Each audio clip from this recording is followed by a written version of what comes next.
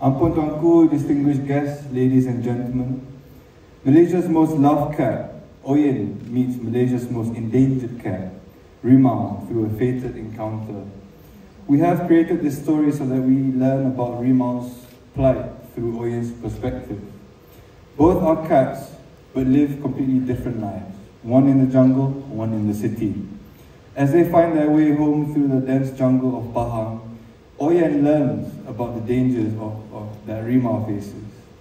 When Oyen returns home, he vows to speak on behalf of Rimau and advocates for her, to save his new found friend.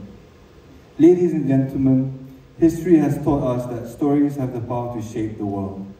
It is my hope that this story of the unlikeliest of friendships will inspire every Malaysian to become a steward and guardian of this earth and every living being that resides in it.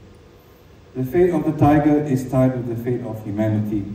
As we embark on this journey to save the Malayan tiger from extinction, we are also saving ourselves. On this note, I would like to officially introduce to you Oyen and Rimau. They are two, two enduring characters for a new awareness and education campaign to save the Malayan tiger.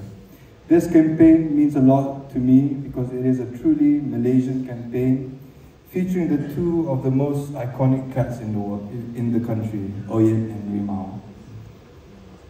It is my wish for our future generations to grow up with Oyen and Rimau as their friend, mentor, and guide to becoming good humans that will contribute to the well-being of our planet. We have a booth right outside this hall where you can purchase our first comic book and various items for you and your loved ones to show your support for the campaign. I hope you will love them as much as I do. Thank you very much.